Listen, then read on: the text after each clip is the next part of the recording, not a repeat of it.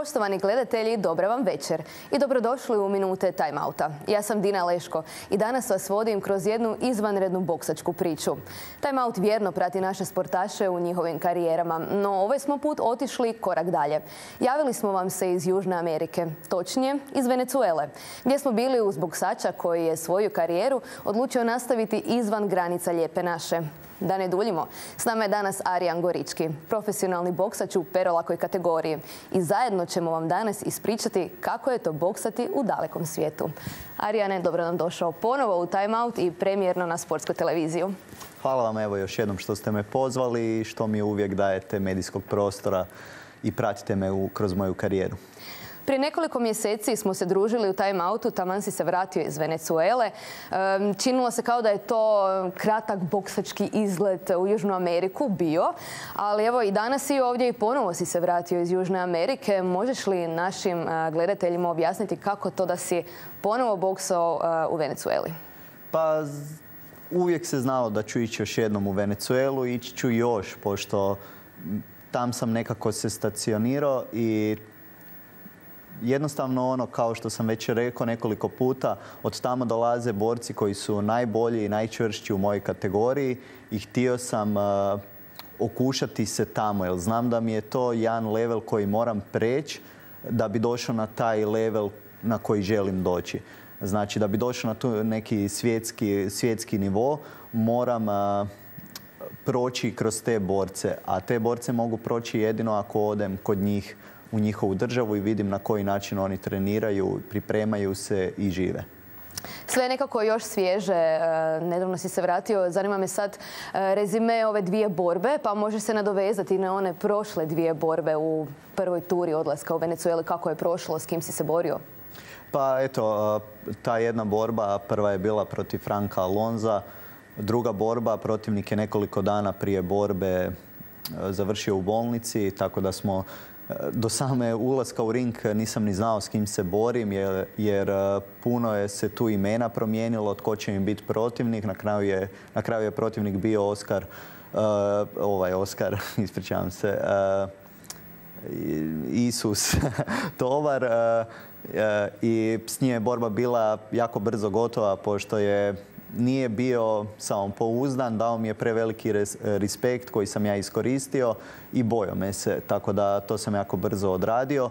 A prva borba je bila protiv e, protivnika koji je bio čvrst, e, bio je kondicijski jako spreman i mogao je podnijeti sve što sam mu dao te ja sam ušao u borbu, nabio sam e, jaki ritam, on je to mogao pratiti, čak ni ja sam nisam mogao pratiti taj ritam koji sam nabio, ali na kraju je sve dobro završilo. E, kad gledamo rezultate, sve je bilo zapravo kako si planirao, e, no voljela bi se dotaknuti ove neke druge stvari koje si spomenuo, a to je organizacija.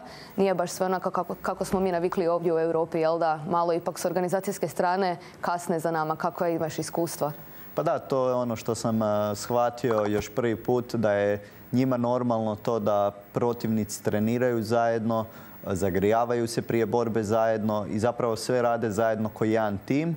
I kad dođe borba, oni to ne gledaju ko ništa nekakvo rivalstvo, nego gledaju isključivo ko sport i ko nešto, nešto što moraju proći. Tako da oni kad uđu u ring, tu više nema prijateljstva, bore se, bore se do ono, zadnje kapi krvi i odrade sve kako treba. Tako da to je meni bilo na prvi put kad smo bili jako čudno, uh, ono, biti pored protivnika i zagrijavati se za našu borbu, ali sad sam to ono, shvatio, prihvatio i sad mi je to postalo normalno.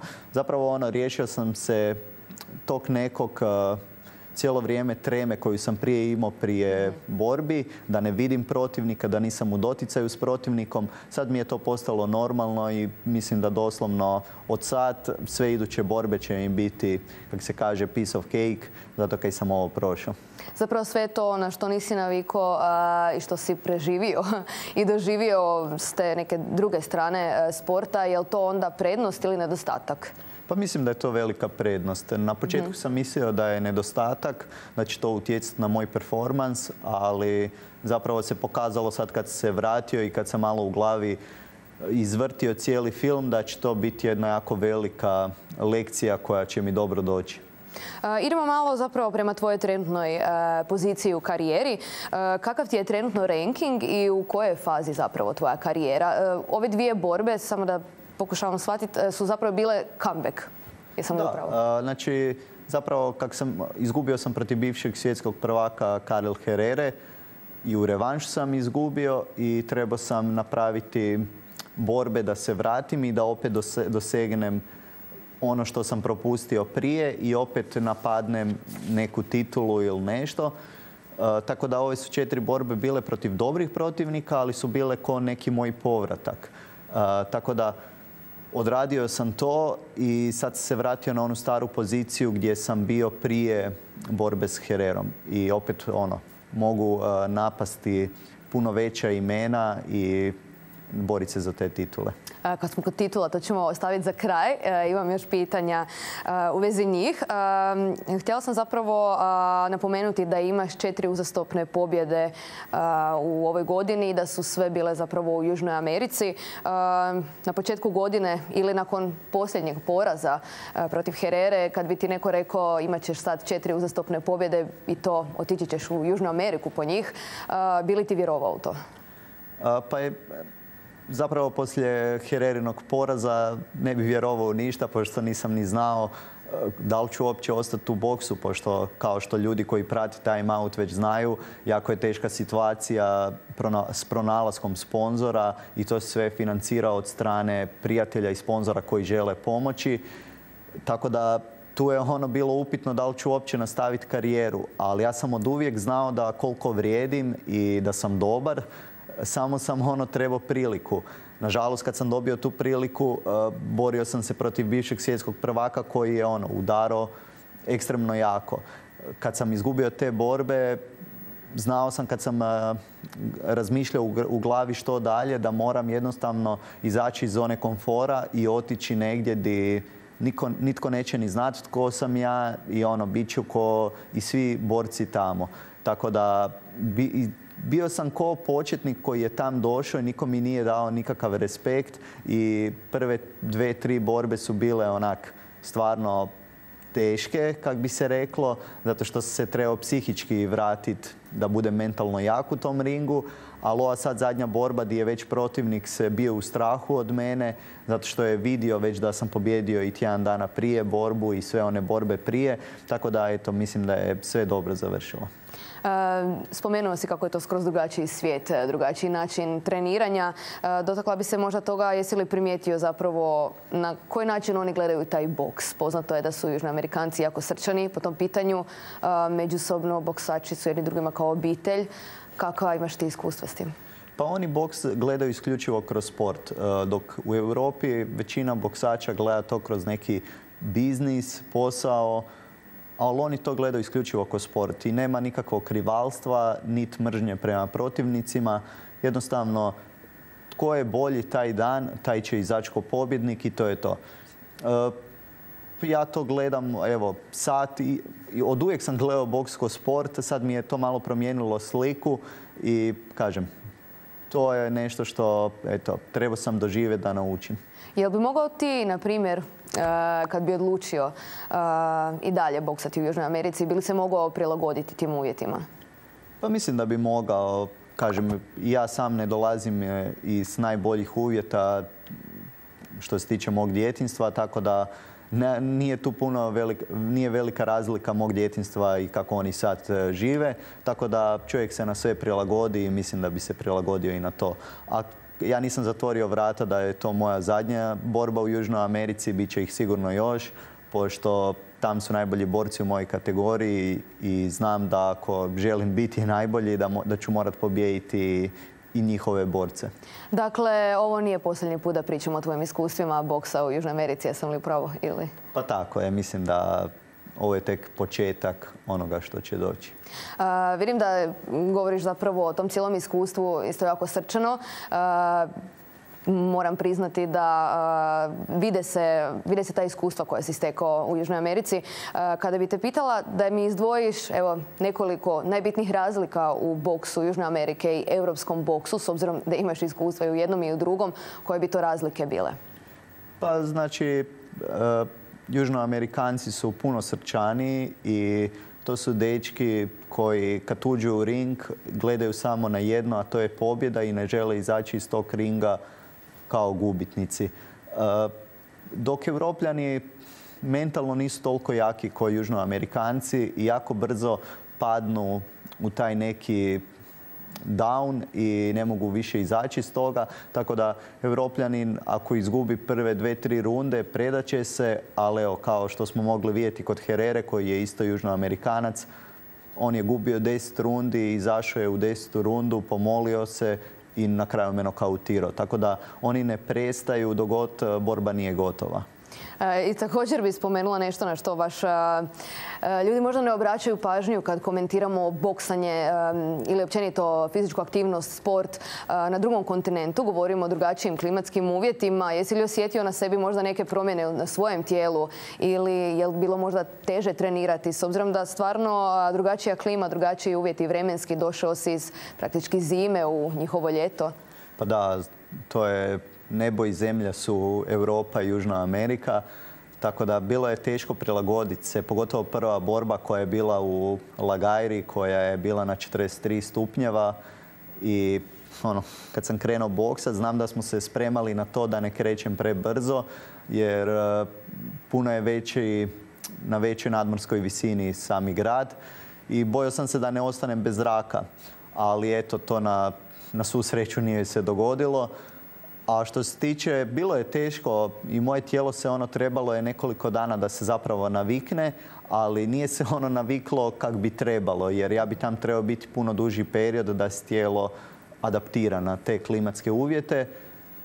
Ali eto, sve smo odradili kak, je, kak smo htjeli i eto, ove zadnje dve borbe bile su u toj jednoj manjoj dvorani koja nije imala uopće zraka i velika je bila sparina u zraku zato što je trenutno u Venecueli kišna sezona i bila je velika sparina i kažem, to je bilo baš preživljavanje što se tiče e, mog e, kardija i kondicijske spreme. Kakav si bio s kilažom? S kilažom sam ja uvijek dobar, nemam s njom problema. Imam e, svoju prehranu, jedem dan prije borbe normalno, prije vaganja, to jest nisam imao nikad problema s kilažom, tako ni sad. Što zapravo jako sam i brže puno skinuo kile, jer kad se dođe tam na te temperature i tu e, sparinu, jako brzo čovjek izgubi znoj. Vratimo se malo nazad u zapravo tvoju priču, tvoju sportsku priču za možda neke gledatelje kojima nisi poznat. Zanimljivo je to da se nisi baš rano počeo baviti boksom. Nekad znaju reći za uspješne sportaše pa to od malena, od treće godine već je uspješan, pliva, skače, ne znam šta sve ne. Ti si relativno počeo u nekim tinejdžerskim godinama, pa evo možeš našim gledateljima ispričati tvoju priču, odakle ti u boksu i kako je sve išlo. Pa znači, ja sam od uvijek bio u sportu. Jedino što sam se u boks prešalto sa 14 godina, jer eto, kao što već gledatelji Time Outa znaju, imao sam teško djetinstvo, imao sam uh, nasilnog koca koji nas je maltretirao i moj način da se obranim od tog svega bio je da počnem boksati. I kad se dogodio taj jedan nesretni slučaj 2014 kad me je otac, to je 2013. kad me je otac napao fizički nasrno na mene s nožem, tak to je bilo to. Došao sam u dvoranu kod ujaka, rekao da želim boksati i čim sam ušao u dvoranu, jako brzo sam se, zavolio sam taj sport i brzo sam skupljao iskustvo i jako brzo sam već boksop i sparirao, trenirao sa iskusnim borcima, zato što sam i sam bio u sportu, tako da mom tijelu nije trebala velika prilagodba. Znači, trebalo je zapravo samo mene po naučiti osnovama i ja sam jako brzo upijao i bio sam ko spuža. Usudila bi se reći da je nekako dvorana postala tvoj drugi dom zapravo i boks tvoj život s vremenom.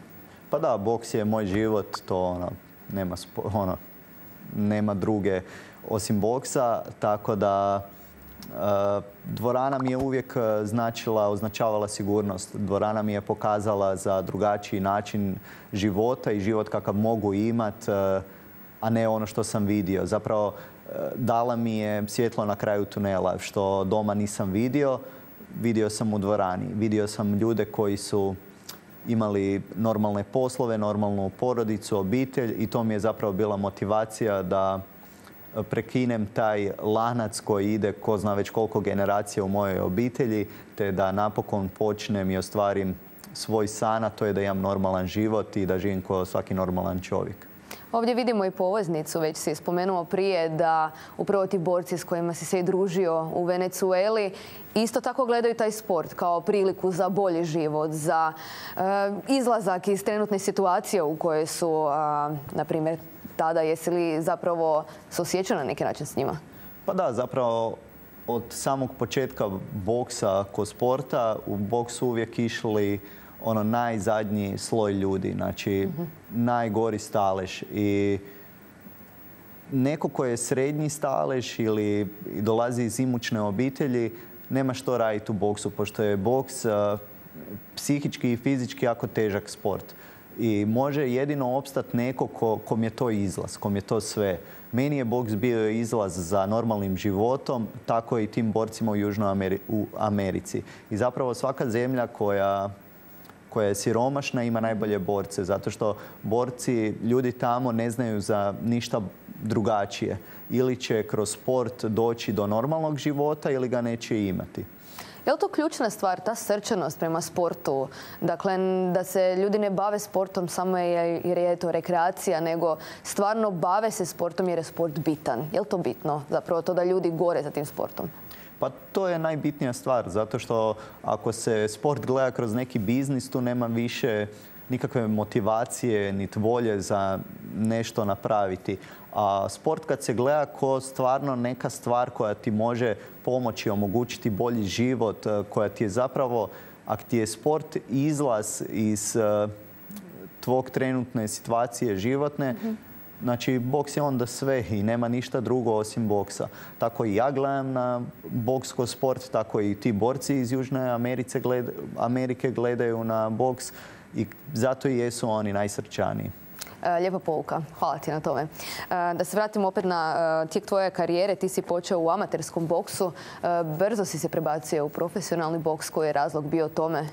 Pa znači, u boksu su jako mutni ljudi i meni se mhm. uvijek prodavala priča o tom profesionalnom boksu, a kao što dolazim iz jako siromašne obitelji, meni je to bilo ono put ka boljem životu, recimo to tako profesionalni boks mi je puno više i stajao što se tiče mojih predispozicija, zato što ko amater sam ja jako brzo otišao u Njemačku i sparirao tamo i trenirao sa profesionalcima.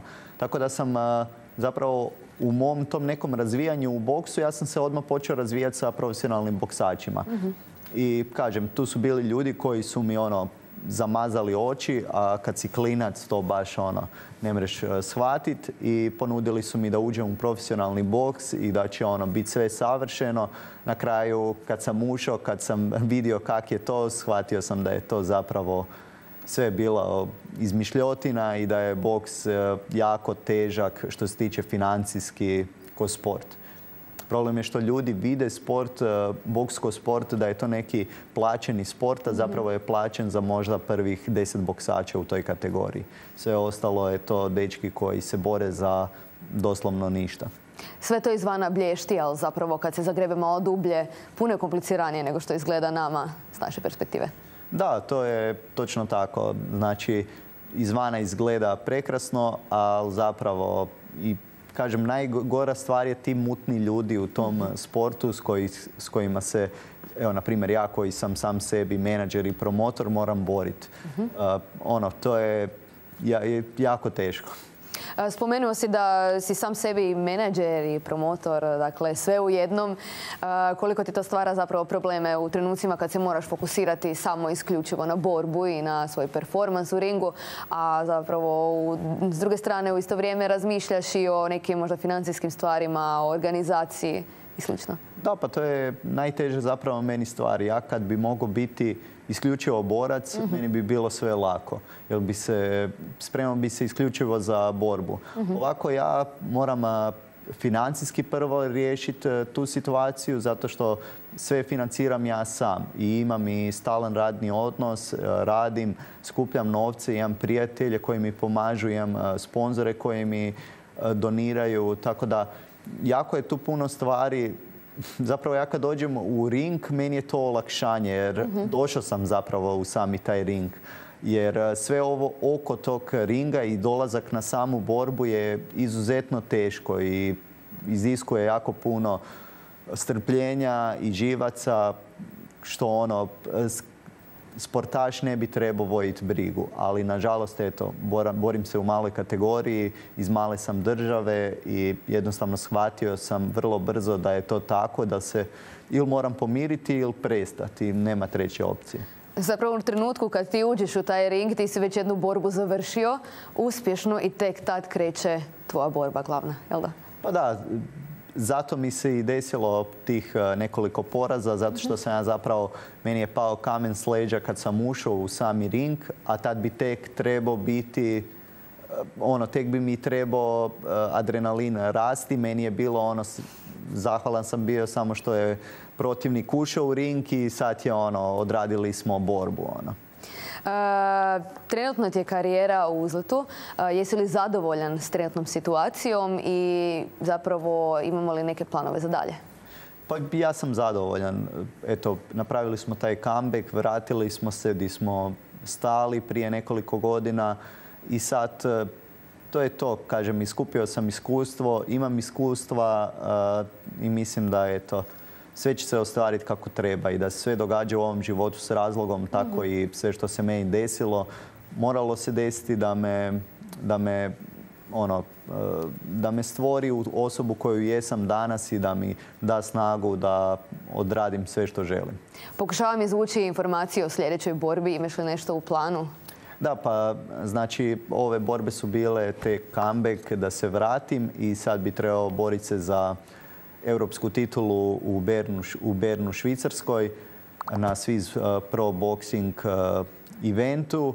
Trebao bi se boriti za tu europsku titulu. Naime, sve je organizirano, sve je dogovoreno. Sad je opet uh, na meni najveća, najveći kamen naći novce, pošto mhm. te sve borbe izuzetno puno koštaju i ja trebam naći sponzorstvo ili donatore koji će mi pomoći da ostvarim svoj e, cilj i postanem europski prvak. Imaš li neki datum okviran?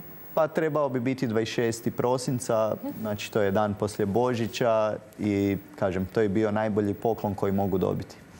Upravo si mi uzeo riječ iz usta. E, a ako se ne varam, ako će stvarno borba, ja vjerujem da hoće biti e, za europsku titulu 26. prosinca, to znači da si ti neprekidno u pripremama od ljeta, jel da? Pa tako je. Mislim, ja uvijek sam u treningu i uvijek mhm. se spremam. E, jednostavno, tak, tak sam naučio, tako sam naučio i to je moj život. Sport je moj život i cijelo vrijeme sam u pripremama. Ja zapravo nisam stao s treningom od početka godine. Uh, poslije prvih dve borbe u Venecueli uzeo sam tjedan dana pauzu i nastavio se opet spremat. Sad od, sedme, od sedmog mjeseca, od srpnja, mi smo u pripremama za Venecuelu i sad su se te pripreme nastavile na europsku titulu. Tako da sve ono, sprem, ono, te pripreme ne stanu. Sve vodi zapravo jednom, a to je, vjerujemo, 26. prosinca u Švicarskoj, jel da? Pa tako je, eto, ja se nadam stvarno da ću uspjeti skupiti e, novčanu, novčanu e, konstrukciju, da mhm. odradim tu borbu i zatim da mi ono napokon krene biti malo lakše. Protivnika, znaš, ne znaš? Pa, pa, protivnika imamo jako puno imena, ali još nije potvrđen taj jedan protivnik koji će zasigurno biti. To ćemo imati kroz idućih desetak dana i zatim je to to. Možemo krenuti promovirati borbu i mm spremati se za tu borbu. I dalje si u svemu tom sam, zapravo svoje sponzore i dalje si svoj promotor, uh, menadžer. Pa da, i, i dalje sam svoj promotor i menadžer, ali eto, mislim da poslije ove borbe da će se to promijeniti i da će taj teret e, otići s mojih leđa na tuđi, tuđa i kažem, evo ja sam zahvalan svim tim prijateljima koji su mi e, sponzori, ali su mi zapravo prijatelji koji mi pomažu i koji su uz mene, jer da nema njih, nit bi ja danas tu sjedio i nadao se da ću ostvariti tu borbu za europsku titulu. I kad digneš taj pojas e, krajem prosinca, je li to to ili Arjan još planira nešto? O ne, pa to, je tek početak. Kažem, to je prva borba koja je zapravo uvertira u onoga mhm. što slijedi. Ja, kažem, znam svoje sposobnosti, znam što, što mogu učiniti i mislim da će ovo biti samo početak početak jedne lijepe i uspješne priče. svakako Time Out vjeruje u tebe. pratimo te od samih početaka i kao netko tko je doživio s tobom i Venecuelu, ali u ime Time Outa i cijele ekipe, mislim da već je spomenuo, ali moram napomenuti da stvarno će nam najljepši poklon ovog Božića, ja vjerujem, biti trenutak kad ćeš dići taj pojas visoko u zrak. Pa ja vjerujem da će se sve ostvariti zato što ljudi su mi, neki ljudi su mi rekli odmah poslije poraza da je najbolje možda da, da ostavim se boksa, da prestanem, ali kažem ja znam svoje sposobnosti. Protivnik protiv kojeg sam izgubio je bio izuzetno fizički jak i to je nešto na što ja ne mogu utjecati. Bio je bivši svjetski prvak i svima sam rekao svoje planove odmah tad i eto sad se ti planovi ostvaruju. Još samo da uzmemo tu BBO europsku titulu i onda je to to. E, I nakon toga ponovo pripreme za svjetsku titulu. Pa tako je. Pripreme ne staju. Tjedan dana odmora, pet dana odmora i, stavljamo sve iz početka. Hvala ti Arjane na e, gostovanju u Time Outu i veselimo se tvojem ponovnom povratku ovdje. Hvala vama što ste me pozvali, što me konstantno pratite već godinama i što ste uz mene. Poštovani gledatelji, hvala i vama što ste ponovo bili uz Time Out i vidimo se sljedeći tjedan.